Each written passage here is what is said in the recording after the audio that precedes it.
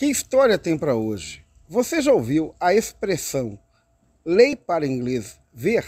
Pois é, 4 de setembro de 1850, essa lei foi publicada por Eusébio de Queiroz, por isso se chamou Lei Eusébio de Queiroz, que era ministro da Justiça, naquela época podia fazer lei assim.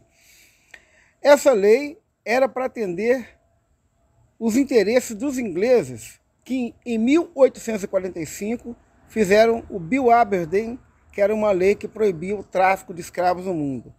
E aí, para dizer que estava consonante com o seu país aliado, os brasileiros fizeram a lei Eusébio de Queiroz.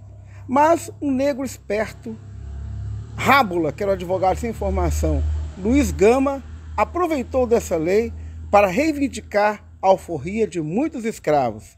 E aí a lei vingou.